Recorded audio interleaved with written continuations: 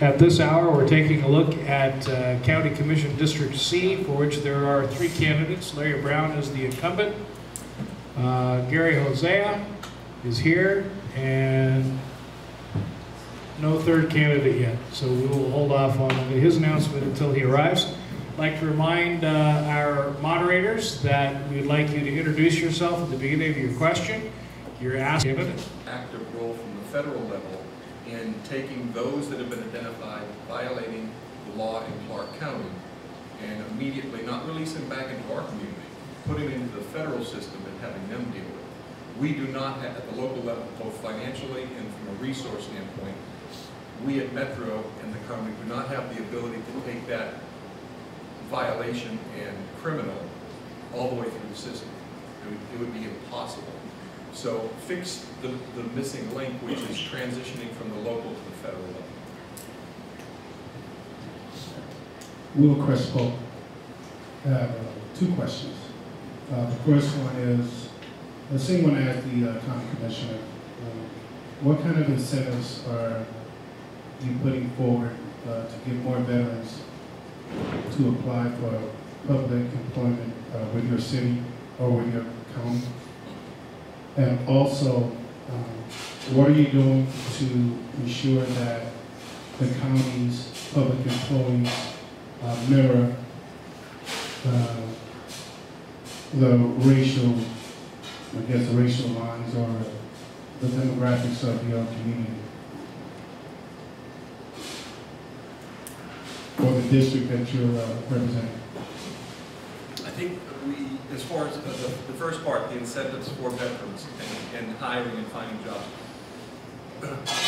We have, uh, in our human resource department, a, an incentive simply that hiring a veteran puts someone on a priority list. Now, they cer- certainly still have to meet all the minimums and things like that, but all things equal, a veteran will have a priority hiring status coming into the system.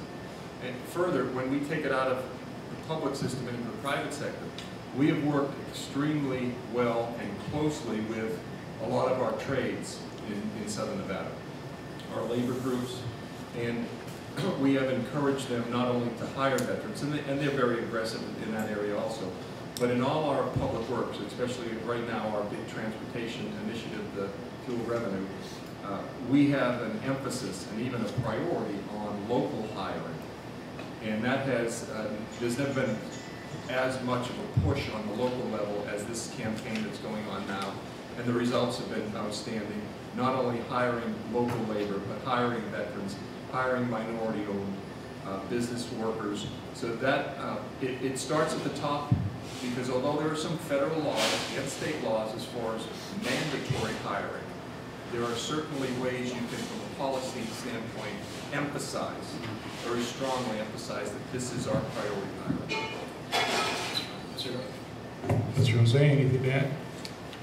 Uh, No, the one thing I would add is the county can be more uh, helpful in maybe having classes to translate your military language into the actual job description. Right now, there isn't a push.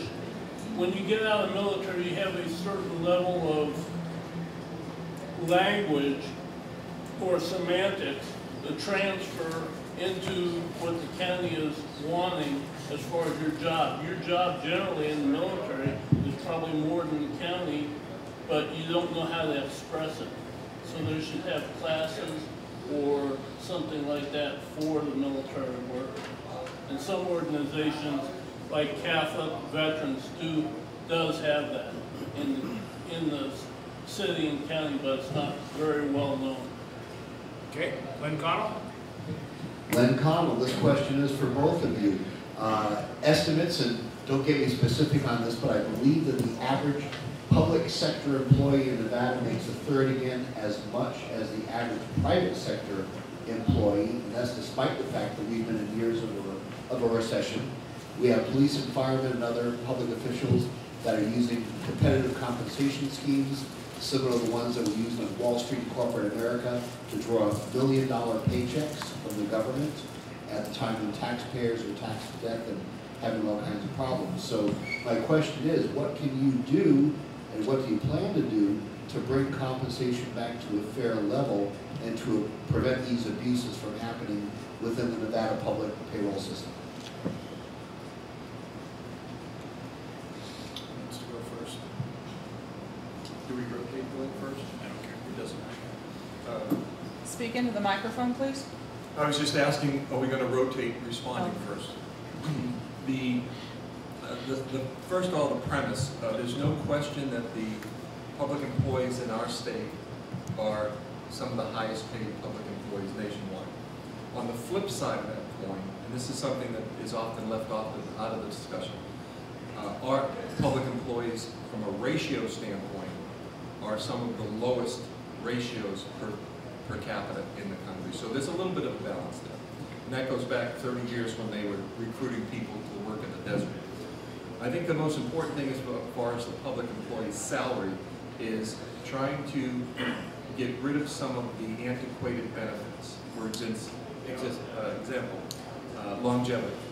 Uh, we have been on a six-year negotiation with just about all our labor unions to get rid of longevity, which 30 years ago, 40 years ago was an incentive, now is just an extra paycheck. And that has been successful within all but one of the unions. And it, it works well because it's not, it's not taking away from any existing employee, it's creating a future system without longevity, which in the example of police and fire, over the 30-year window of a normal hire would save the county alone upwards of 30 to 35 million dollars, and that's just those two groups. So you go in and you take a look at the elements of negotiation over the past 15, 20 years, and identify those that are really antiquated, that should be taken out of the system, and try to get rid of this, well, people at the LVCVA get paid this, so the county should pay them that, the city pays them that, Henderson pays them that. That has been uh, a thorn in the side of fairness and equity, because the arbitration and the courts have said, well, if you're paying that same employee in Henderson, why shouldn't you pay it in the county? And it's just, it's not a fair comparison. You have to, uh, the revenue streams are differently. So that's another thing that we have to look at as far as what do we really compare it to? The value of the job or what someone's making in another municipality? I think one of the things that was brought up in Chairman Sisolak is we need to look at the tax structure and where the money's going and hire the best employees. And one thing that happened recently with Mayor Goodman and Mayor Lee had talked about maybe consolidation of governments. That's one thing that we need to do as a county is look at, seriously look at, rather than talk about it, consolidating government so that the taxpayer gets the most bang for the buck. Whether employees pay a little bit higher, yes, they've recently gotten rid of, uh, the overtime pay for some people, and they've also, uh, lessened overtime pay for people, but they've also cut out the longevity pay. And I think longevity pay should have been cut out for the average employee, because all it's doing is increasing more money that the county has to pay out and also taxes. We need to look at ways to save money and help government be more efficient, run more efficiently, rather than the way it is now. We also have supervisors that don't really, once you get in the county, you're in the county. You can do, once you get your name in the county, you're supposed long, uh, a certain amount of time in your job. And you're supposed to get a counseling statement telling you how you're doing your job. That isn't happening. And we need to reinforce through our supervisors and M-plan employees and reorganize. We need to look at reorganization of county government from a county manager who's wasted millions and millions of dollars all the way down to the bottom line employee.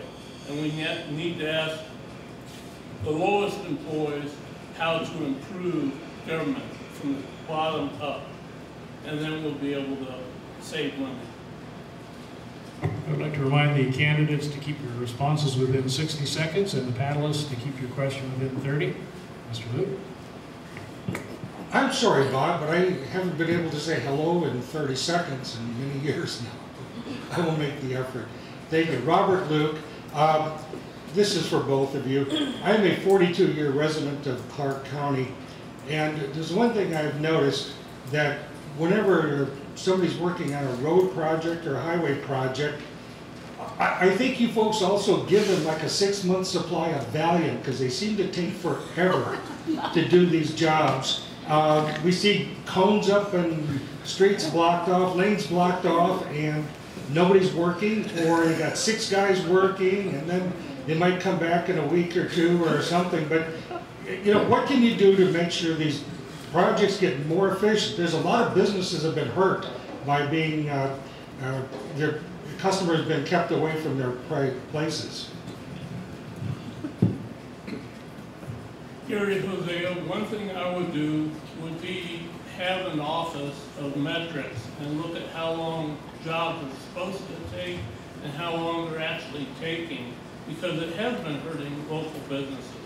Down on Decatur, on Augusta, different streets, there, there's a lot of, Rampart was another example. Rampart Boulevard, all the way from Suncoast to, uh, Cheyenne. There's a lot of traffic, a lot of congestion. Cones would be up one day, or they'd just be sitting up. And the, the person putting them up didn't want to take them down, they just leave them up. That needs to be addressed and looked at so that we have better roads and better transportation. No question, recently, those uh, orange cones have been uh, as prolific as we've seen in the past 42 years you've been here. And that's partly because of the recession. During that four-year window, there was literally nothing done uh, as far as infrastructure investment. So we had a four-year gap. Coming out of the recession, uh, from the transportation side, we had the fuel revenue indexing, which is generating over 200 projects. So you had nothing, and we're accelerating now, and that's why you see so much activity. Now, certainly, it's not only roads, it's sewer, it's water, it's flood control, it's Southwest Gas, it's NV Energy, all this coming together. To your point, we have to do a better job to collaborate. And there's a coordination committee that's been in existence for 30 years that over the last six months has been brought together, re-energized with technology and GPS mapping and everything. We have to be able to do a better job on collaborating and coordinating. The secret also is on the front end of these contracts, as Gary mentioned, the scope of the work has to be clearly defined. If it's night work, then take the cones back, free up a lane. So the scope of the work of contracts has to be improved and the collaboration has to be improved. But understand that infrastructure investment, we're playing catch-up and behind every cone is a lot of employment being generated and thousands of new jobs. A little patience, take that frustration, get it to the Seeing Orange campaign and we'll get you answers. My mom always said that we just don't have any place to store all the orange cones. I'm hopeful that with this new NFL stadium, Or if your mom has identified a street that isn't torn up, let us know. tell us, Jennifer. Hello, my name is Tellis Napper, and I'm a DJ and radio talk show host for Music Medication.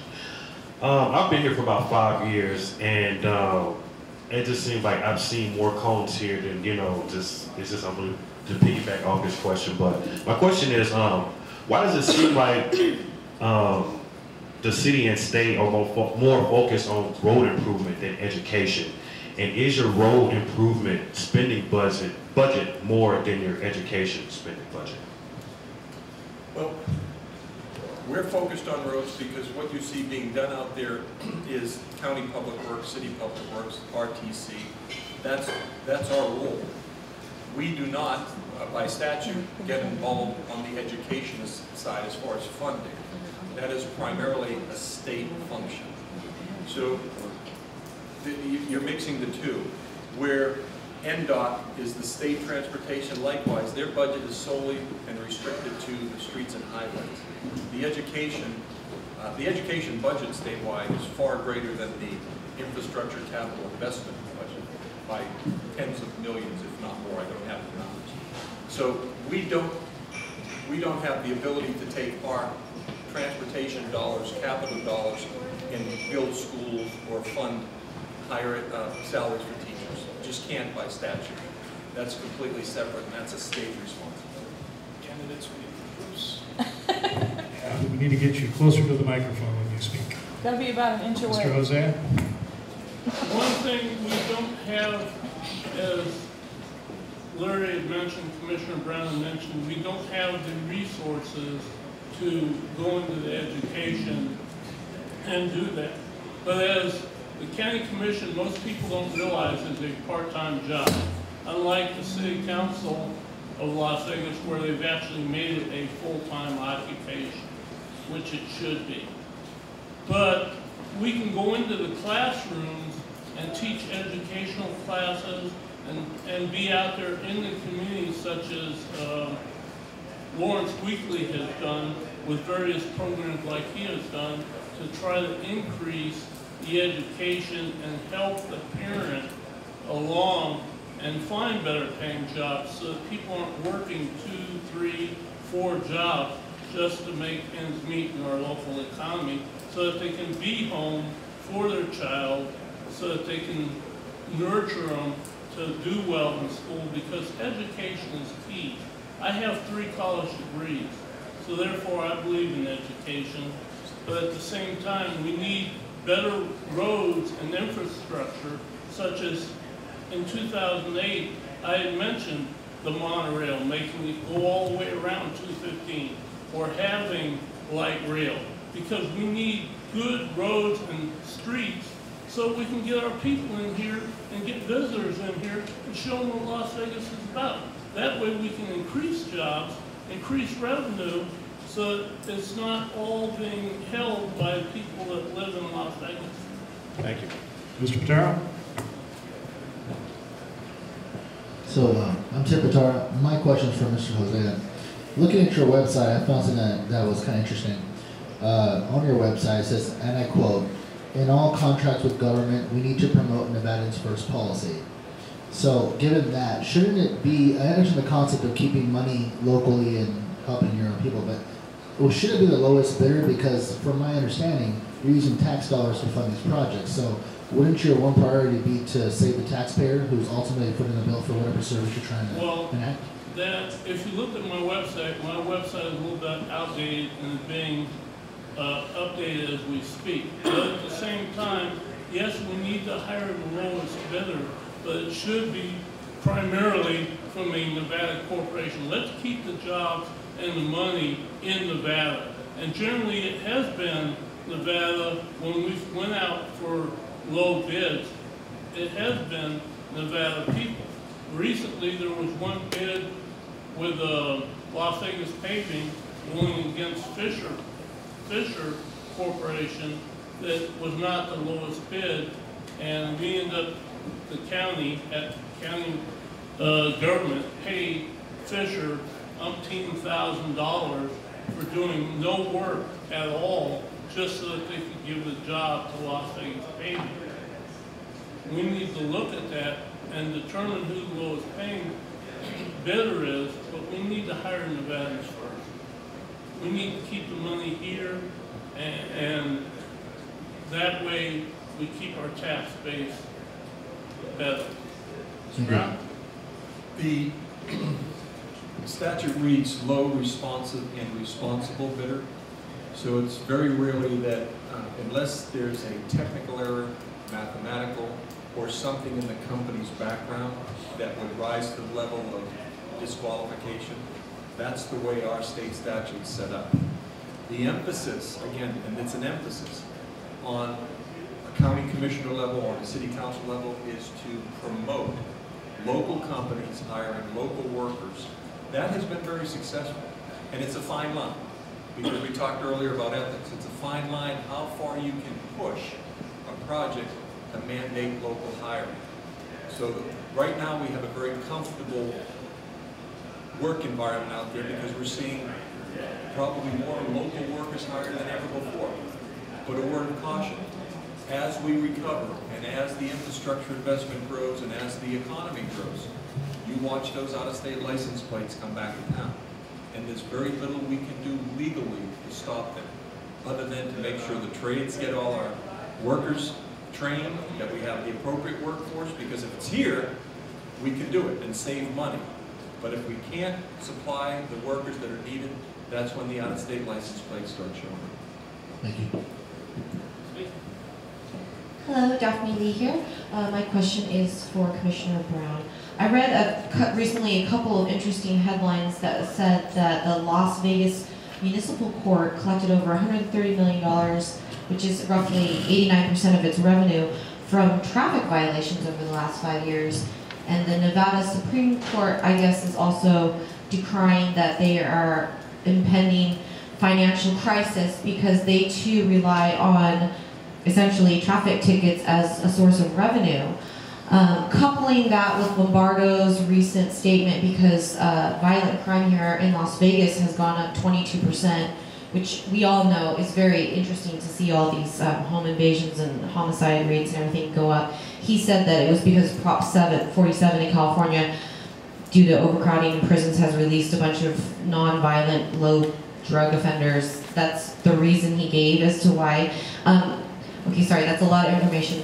My point is, how do we ensure that Metro, with the resources that they have, are not inadvertently directed towards revenue um, generating for the courts and the government function, and instead are able to allocate their resources properly in order to protect us the, the, and serve the community? Because it seems like that's a really probably a tough thing to balance how do you as a commissioner kind of make sure that's going on and they're focusing on the proper thing that they need to be focusing on?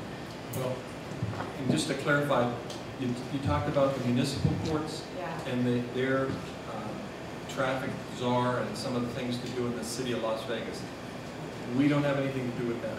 But I think specifically to your question, right now, and, and it, it doesn't take uh, rocket scientists to figure out, if you look back in 07, 08, when our crime rate was the lowest it had been in decades, and our officer per thousand number was over two, it was 2.04. Through the recession, we are down now to 1.73, 1.74, and if you look at the graph, it's just flipped. Crime is higher than it's been in 15 years. It's the presence of officers on the street. It's the ability to put officers into the neighborhoods on the community officer programs.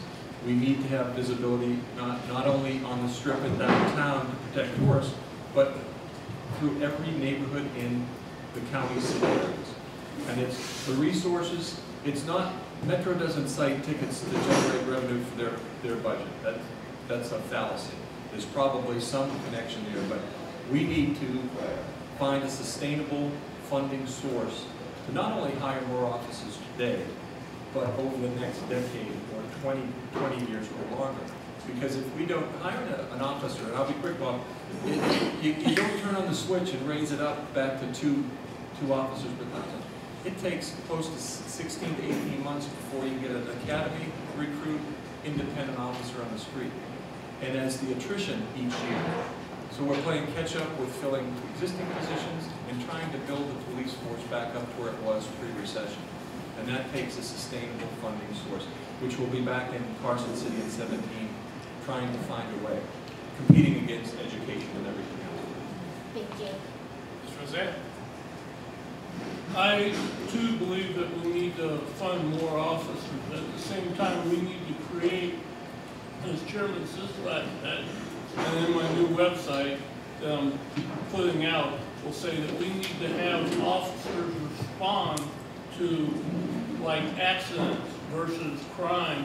We need to have our sworn officers go to the crimes and have unsworn officers maybe help out at accident scenes and stuff like that. We need to balance a little bit more and increase our police force and, uh, first responders and look at our resources better.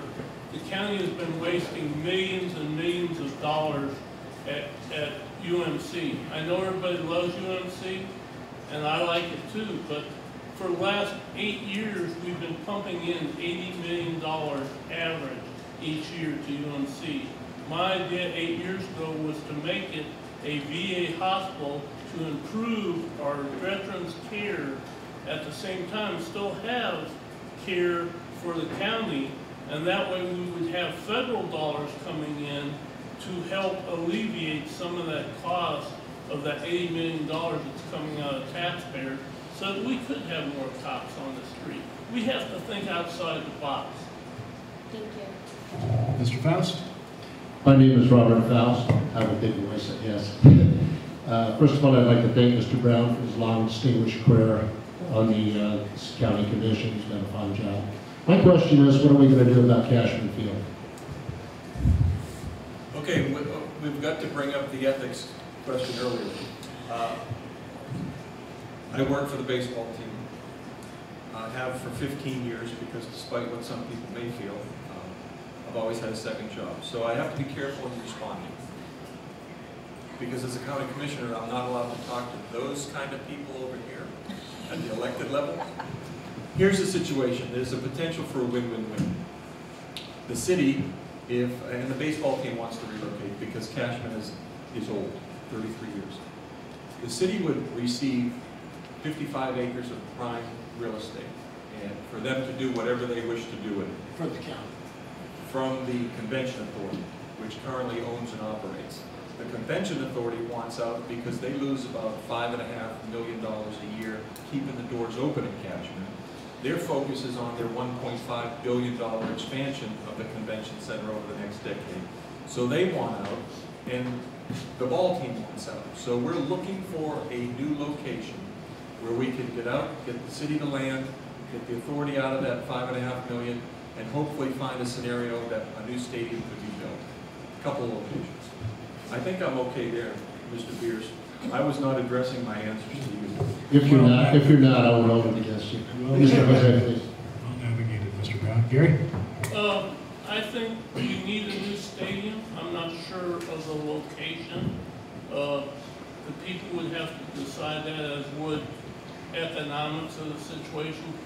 Uh, Cashman is antiquated. We need something for a major sports stadium. Uh, Venetian has proposed a stadium on the, uh, campus of UNLV. Maybe that could be baseball and softball like San Diego is. Who knows? Right now, we need something to improve Cashman Field. So what happens to Cashman Field after the stars of the 51s move? What it, uh, with the city's long-range planning for downtown, uh, Mr. Beers could probably answer this better, but to, to be in receivership of, other than demolishing the existing facility, being in receivership of 55 acres, a quarter mile from the downtown Fremont core, uh, not many cities can boast that. Now, as far as the vision, what should go there, that's going to be left up to the leadership at the city and the private sector. But you don't find 55 acres that close to a downtown core in too many cities around the country. And you're talking about the, the property that the stadium sits on now? Yes. Plus, we have a little land at Symphony Park we could sell you, too. Uh, thank you. Ms. Lake? Hello, Commissioner Cindy Lake and Mr. Hosea. Thanks for taking time today. I had a couple of questions. I'll make them brief. Actually, I did see you there at the uh, game last week, the Mets versus Cubs, and I was going to ask you, were you supporting the Mets or the Cubs? First and foremost. Um, secondly, I ran for county commission in 2014, and one of the platforms, one of my platforms was, uh, one of my pet peeves is the um, Republic Services reducing pickup to one time per week, and my bill is, is the same as it was when, when my pickup, my trash pickup was twice a week. Did you vote for that change to the contract, uh, Commissioner Brown? I'm not sure. And, um, and one more thing, a suggestion was to consider um, reducing public salaries to $100,000 per year and take that money and hire more cops. So would you consider doing that? Thank you. Let me take the first one, on, and I think we're talking about the, um, the recycling program that we- we've adopted. It's, it's not throughout the county, but it's going to be over the next few years. I did support it, and I supported it for a couple reasons. One is, uh, the pilot programs that were done in parts of unincorporated county in the city of Las Vegas, the uh, numbers were coming back, surveys of the users were coming back at a ninety percent acceptance rate the push to recycle, and there's a whole another debate whether that's the right thing to be doing. But we're not, we're not eliminating the number of stops Republic Services will make in the county. We're just changing the mix from two times a week garbage to one time a week garbage, one time a week recycling. But they'll still have, currently, you have, like, we don't have the recycling program yet. Currently, we have ten stops from Republic. Those ten stops per month are not going to change. It's the dynamic of what they're picking up is going to. Now, the bigger question, which one of my colleagues brought up, is, well, wait a second, they're, they're making millions of dollars. They should be cutting, cutting our monthly rate. Well, our, our monthly service charge with Republic is one of the lowest in the entire Southwest, if not the nation. So we're, we are getting outstanding service, and we'll find out five, 10, 15 years whether this push to recycle has been the appropriate move. But I support it because the customers were enjoying it, the service levels were staying. Some of the people only have one-car garages, and it's very hard to find space to put the recyclable trash can that they want you to have and the non-recyclable trash can in your uh, garage out of view, because the CCRs say you have to have your trash cans out of view except for on trash day.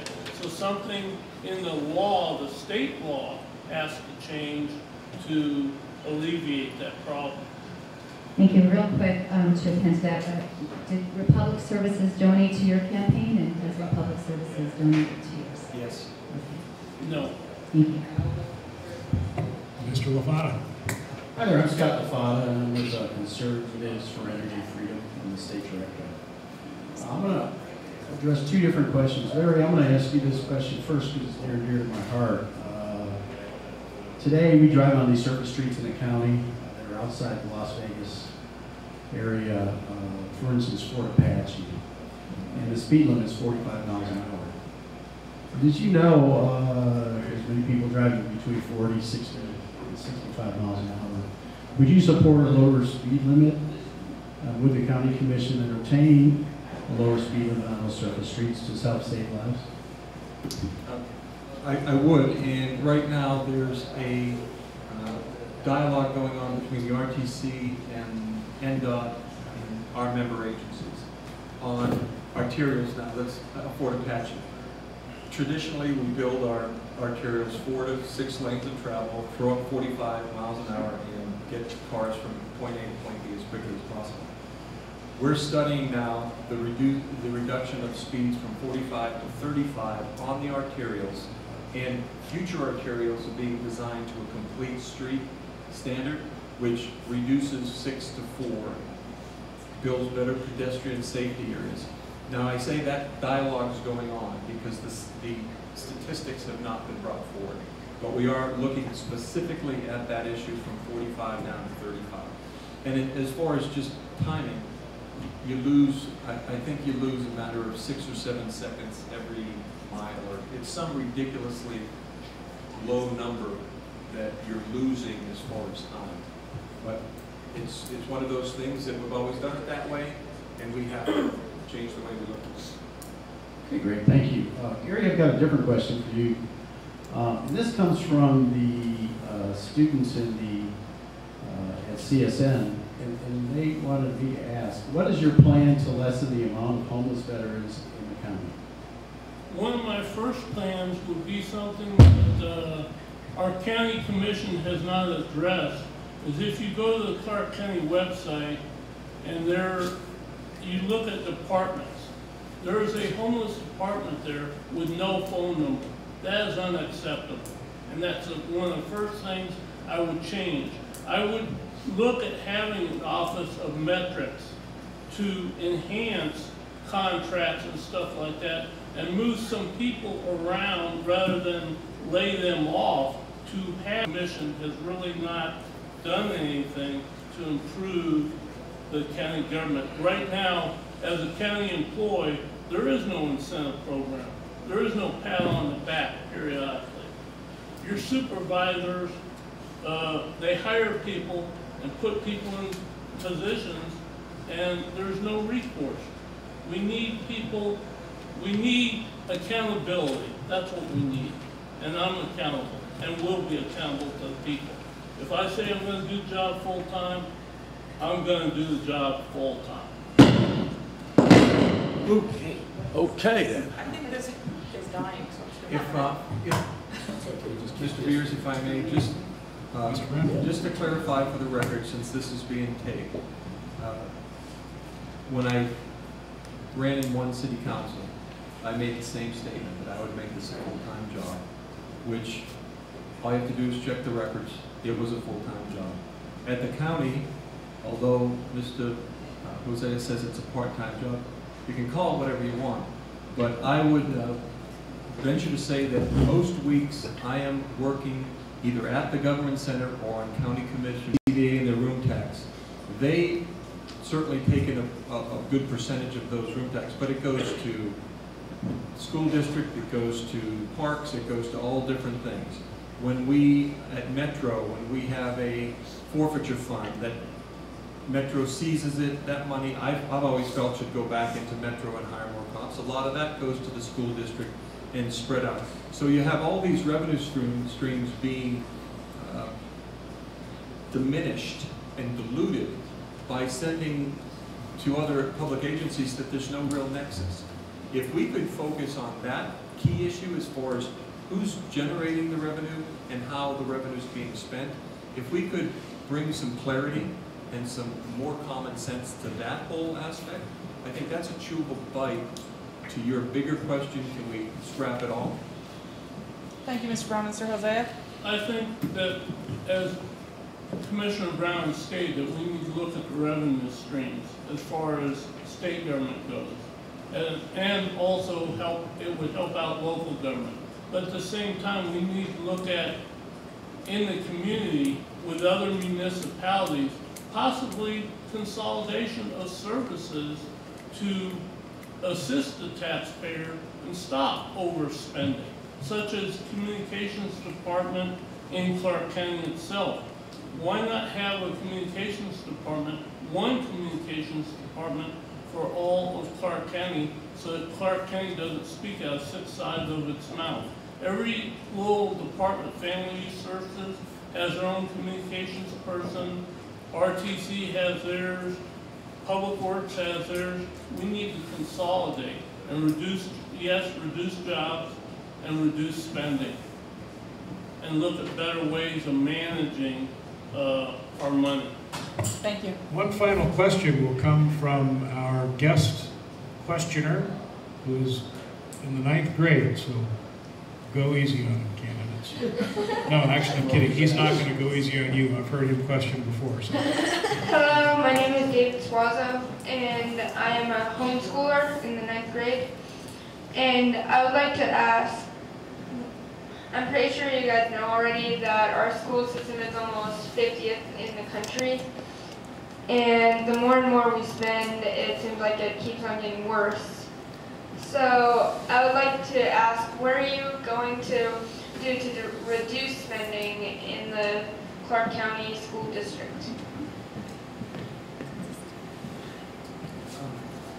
David, that, it's a tough one because we don't, we at the county commission don't control that budget that is uh, approved at the state and goes directly to the Clark County School District Board of Trustees.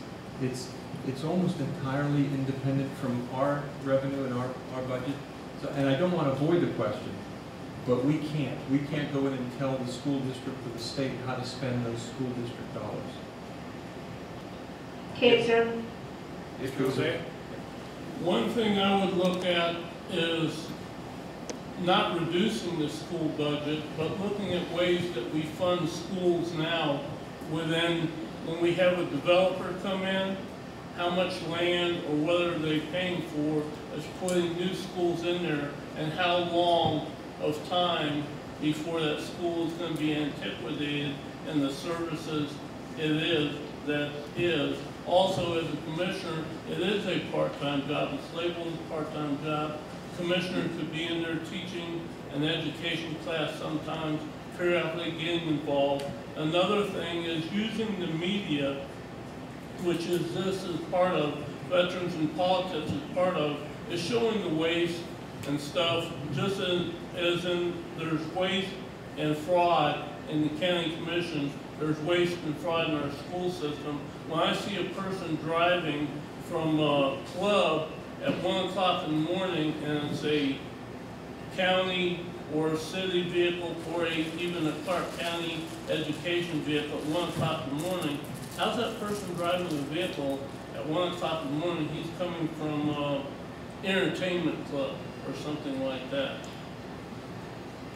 Thank you, Mr. Hosea, for your answer. All right, so with that, we will conclude this interview, panelists. Thank you very much. Candidates, thank you very much.